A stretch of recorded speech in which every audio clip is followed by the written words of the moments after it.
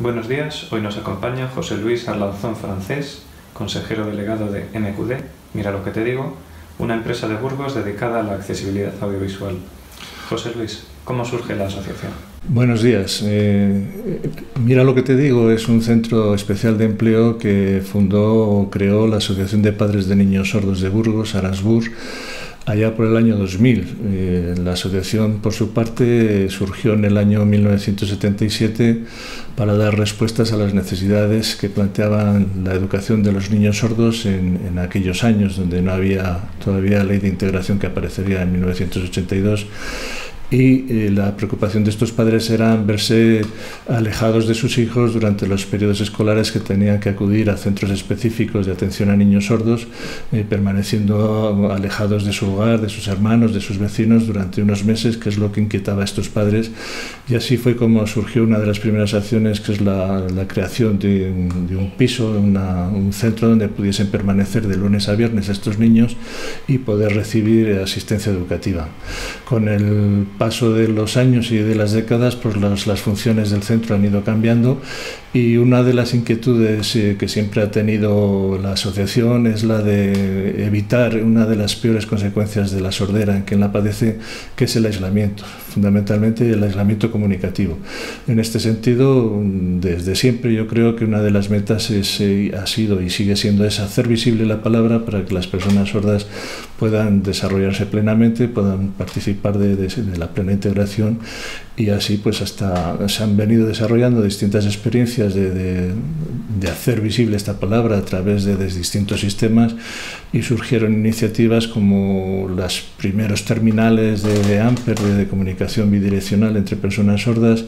Otra iniciativa importante fue una empresa, una pequeña empresa que se llamaba Mira Ya, que era la radio subtitulada en el año 1992 y que ofrecía la posibilidad de que las personas sordas pudieran seguir eh, a través de un, un, receptor de, con tipo video busca persona eh, mensajes relacionados con noticias diarias eh, minuto a minuto, así como facilitarle acceso a comunicación directa y personal pues, sobre búsqueda de empleo o temas de, de, su interés.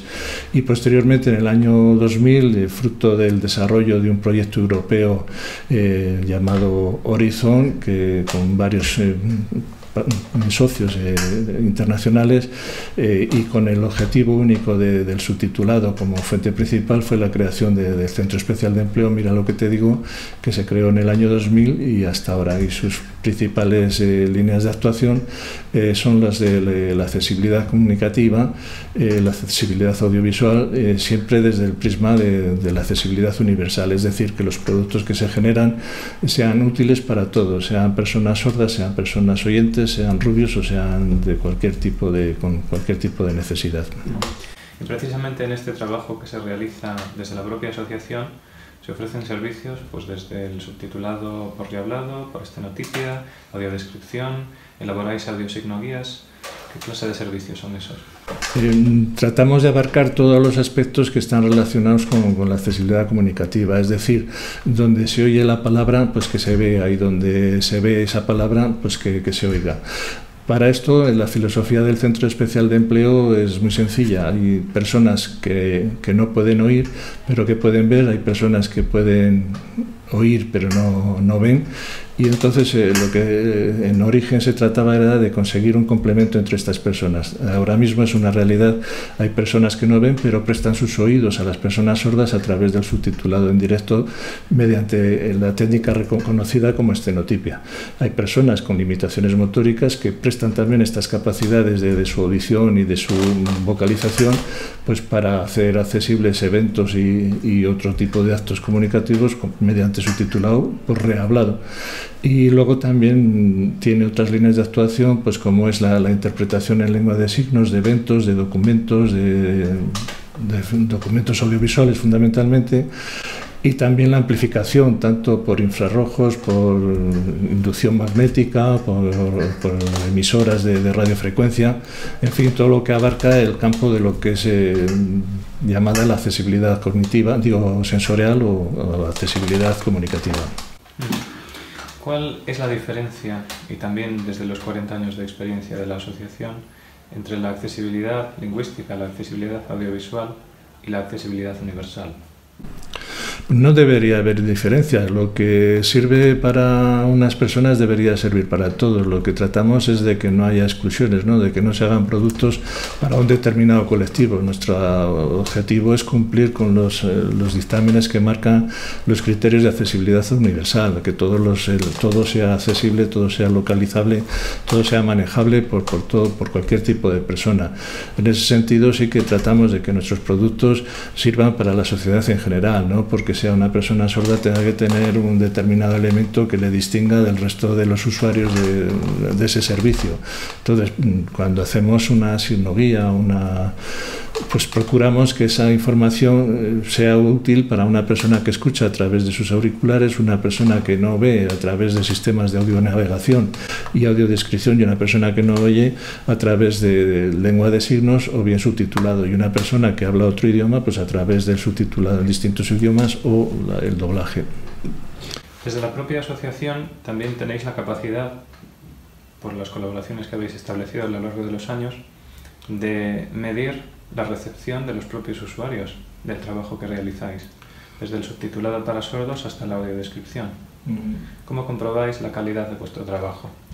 Pues el hecho de ser una asociación de personas sordas y que está vinculada al movimiento asociativo de las personas con discapacidad, dado que pertenecemos a distintos grupos de, representación de personas con, discapacidad, como es el CERMI Castilla y León o el CERMI estatal, lo que nos permite es tener un laboratorio muy amplio de personas que nos permiten saber e identificar, identificar qué necesidades tiene y adecuarlas a, parámetros óptimos de calidad. Eh, concretamente aquí en Burgos contamos con, dentro de la asociación con un abanico bastante amplio dentro de lo que es la heterogeneidad de la, de la sordera. ¿no? Tenemos sordos prelocutivos, sordos poslocutivos, sordos signantes, sordos oralizados, sordos que comunican eh, indistintamente en lengua de signos, lengua oral, incluso tenemos sordos eh, plurilingües o multilingües.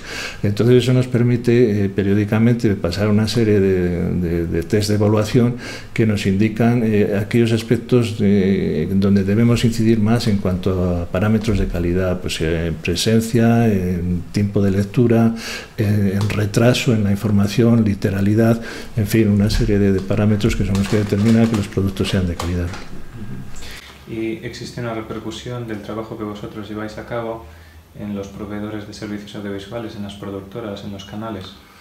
Evidentemente, a medida que se va implantando, se va generalizando este tipo de, servicios, que ya no encontramos el rechazo de algunos productores, de algunos realizadores, en cuanto que decían que este tipo de medidas manchaban o estropeaban la pantalla o eh, echaban a perder su, obra artística, pues esto afortunadamente se va superando y son cada vez más demandados. De hecho, tenemos que en, los comercios todos los productos audiovisuales ya vienen ya con, con sistemas de accesibilidad. No solamente las versiones originales, sino subtitulado para sordos o los doblajes y demás. O sea, está bastante extendido y se está generalizando afortunadamente. Mm. ¿Cuáles son las principales fuentes de rechazo? ¿Cuáles han sido históricamente esas fuentes de rechazo? Eh, fundamentalmente en, aspectos audiovisuales, en, películas, en vídeos y demás, es el, introducir un elemento extraño, anómalo, que, que, que, inundaba la pantalla, por así decirlo, ¿no? y manchaba la pantalla y eso ha sido el rechazo más grande que hemos tenido hasta ahora. Siempre hemos tenido, cuando hacía, había, había en sus, orígenes festivales de cine titulados, pues el subtítulo tenía que ir aparte o una pantalla aparte o con otros sistemas complementarios. Eso está ahora tecnológicamente superado, pero vamos, eh, la, pelea más dura siempre ha sido lo de introducir eh, el subtítulo con la imagen, siempre ha sido de gran rechazo. Y por último, eh, en los próximos cinco años, ¿va a existir un cambio a nivel legislativo, a nivel tecnológico que os afecte directamente? El cambio está ya, o sea, la legislación, eh, los cambios de, sociedad están ya. Estamos hablando de una nueva generación de personas sordas que no tiene nada que ver con eh, la, situación en que vivían las personas anteriormente. Eh, el avance en el campo quirúrgico, los implantes cocleares, pues bueno, han sido toda una revolución Eh, el tema de la ley de lengua de signos y apoyos a la comunicación oral también ha supuesto un gran avance. Eh, la, la detección precoz de la sordera en los centros de, donde vienen al mundo estos niños, pues todo este conjunto de cosas ha supuesto un cambio radical en cuanto al abordaje de, de la de, de deficiencia auditiva en todos los sentidos. Entonces, bueno, pues va cambiando y afortunadamente las nuevas tecnologías nos permiten eh, superar retos que hasta ahora eran imposibles, ¿no? como introducir estas medidas de accesibilidad en cualquier soporte, en cualquier gama de productos audiovisuales. ¿Qué destrezas buscáis en vuestro personal? Pues eh, si se trata de dar información, de, de, transformar comunicación oral a visual, evidentemente tiene, la primera característica que tiene que tener un profesional de este campo es un dominio exquisito de, del idioma que va a trabajar. No nos podemos permitir ni faltas ni errores y tienen que ser muy concretos y tienen que, que, que dominar una serie de aspectos, aparte de conocer muy bien a, al público al que se dirigen. De hecho, aquí entre nuestros profesionales, eh, aparte de sus titulaciones superiores, pues eh, coinciden que tienen formación también en, como intérpretes en lengua de signos o intérpretes en otros idiomas, lo cual nos garantiza que el producto que va a salir es de, de, de cierta calidad. Muchas gracias, José Luis. Pues nada, muchas gracias a ti por el interés.